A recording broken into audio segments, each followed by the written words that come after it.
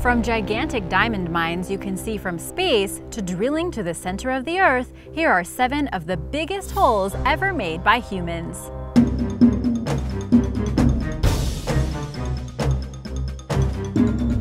Number 7. Diavik Diamond Mine This diamond mine, located in Canada's remote Northwest Territories, is actually a pretty recent hole.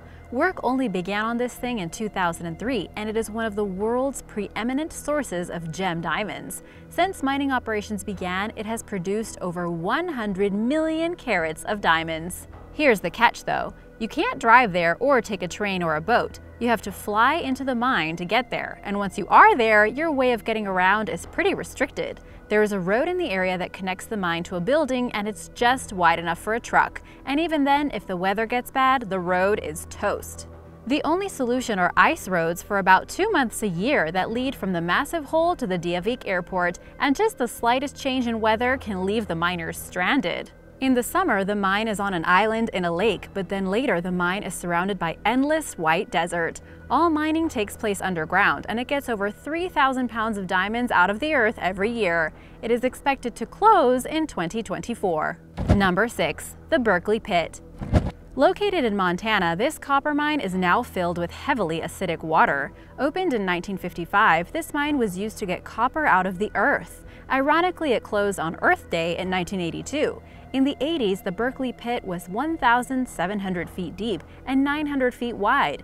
Approximately 320 million tons of ore and over 700 million tons of waste rock were mined from the pit. The pit had a good turnout before being shut down. After that, things took a turn for the worst. With nothing stopping the water from getting into the pit, the hole is now a huge lake. While that's not bad per se, when you mix water with man-made chemicals and toxic waste from the former mine, you get water that's highly acidic, which is pretty terrible for the environment. Very bad. In fact, in the 90s, a flock of snow geese decided to go into the pit to cool down.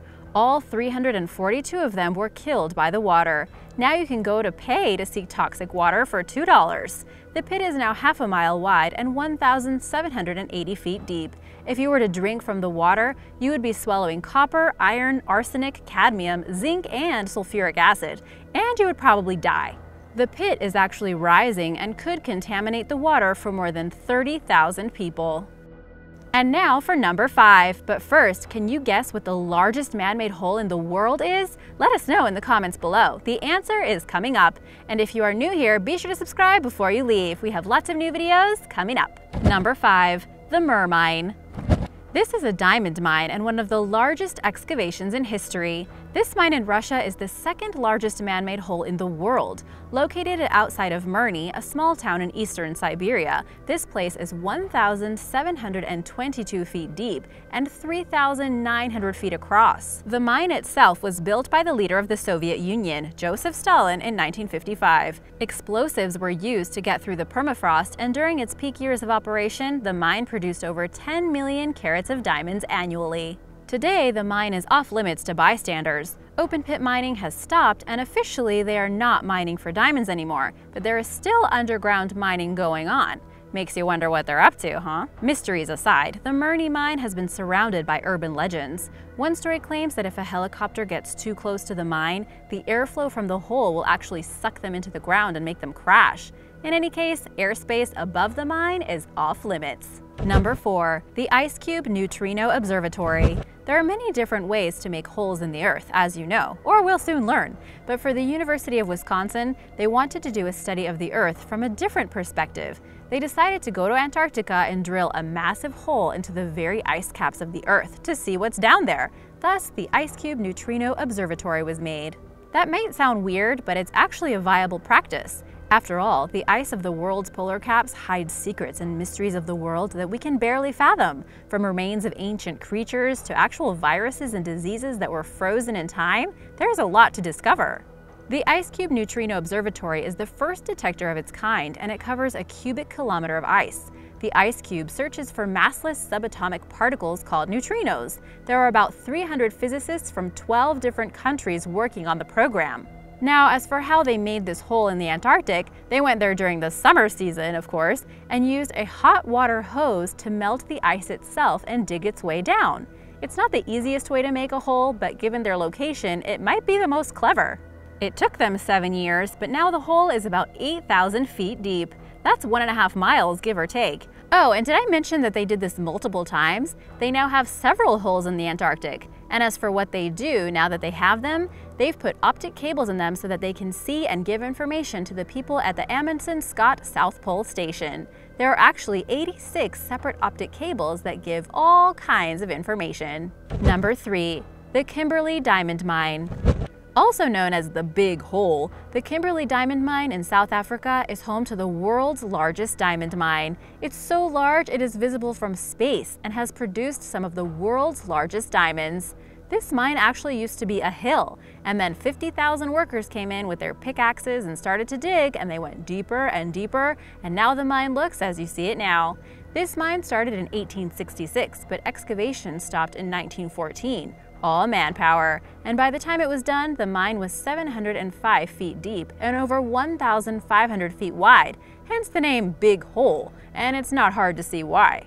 Estimates say that over 6,000 pounds of diamonds were excavated from the mine. The mine is a popular tourist destination and you can now visit the town and see how the poor workers and the De Beers family lived, as well as see the machinery and hollowed out Bibles miners used to use to smuggle out diamonds. Number 2 the Bingham County Mine. Also known as the Kennecott Copper Mine in Utah, this mine definitely takes the cake. This copper mine has been in use for over a century and it's still open to this day. It's the biggest copper mine in the world and provides about 25% of the nation's copper needs. For those of you who guessed, this mine is about two and a half miles wide and about three quarters of a mile deep at last count, and it's likely much bigger than that. That's why some people consider it the largest excavation in the world. And again, it's over 100 years old. Mining began there in 1906, and you can bet that no one digging there at the time thought that this would become what it is today. On a visual note, it's just stunning. You can see the steps in the earth as the miners dug deeper and deeper. Although part of it was destroyed by a landslide, it is still being mined. The mine is a popular tourist destination, although currently the visitor center is closed, so be sure to check before you take the trip out there. There was some movement in the earth, so they need to relocate it and they are working on a way to create an interactive experience for new visitors. Number 1. The Kola Super Deep Borehole Have you ever wondered what's at the center of the earth? Fact is, no one really knows, which is why the Kola Super Deep Borehole is so important. While the Bingham County mine may be the largest man-made hole in the world, the Kola Super Deep Borehole is the deepest hole in the world. When you look at the entrance to the Kola Super Deep Borehole, you might not be that impressed. After all, it's only 9 inches wide. But like the saying goes, you can't judge a book by its cover. And in this case, the cover of this borehole hides a seven and a half mile hole that was dug in the 1970s.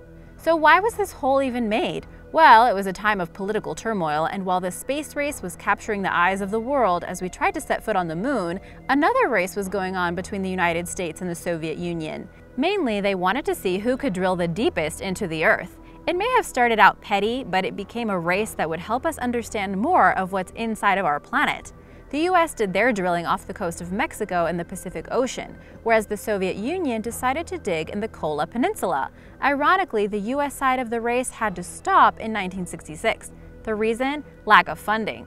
The Soviets kept going though, and going and going and going until they reached seven and a half miles beneath the Earth's crust. That's 40,230 feet. For the record, that's deeper than the deepest ocean on the planet. To be fair, this took a long time. The Soviet drilling started in 1970 and only stopped 24 years later in 1994. Why? Because the extreme heat kept destroying the equipment. Drillers reached 356 degrees Fahrenheit while they had estimated it would be 212 degrees. At that heat, the environment is practically liquid and they couldn't maintain the hole. All the drill bits melted and the rock layer didn't act as scientists had expected. That being said, the samples that were found because of the drilling are invaluable and have not only changed what scientists know about the Earth's core, but also seismic activity and mapping. You can still see the borehole if you go to Russia. However, since 2008, it's been sealed shut, so you won't get to peek at the inside. Now, many international teams and oil and gas companies are also drilling deep. The Chikyu, a Japanese drill ship, claims the record for the deepest offshore hole drilled for scientific purposes. They are now at about 10,000 feet, or 2 miles below the seafloor. Now known as the Integrated Ocean Drilling Program, they are hoping to break all previous records and are expecting to spend around $1 billion. Thanks for watching. Remember to subscribe before you leave, and I'll see you next time. Bye, everyone!